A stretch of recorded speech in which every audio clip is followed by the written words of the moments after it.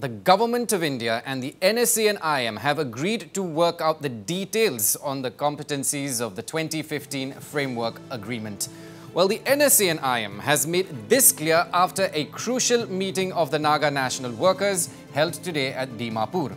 Now, in the statement, the NSCN IM said that it firmly believes and stand by the framework agreement signed on August 3, 2015.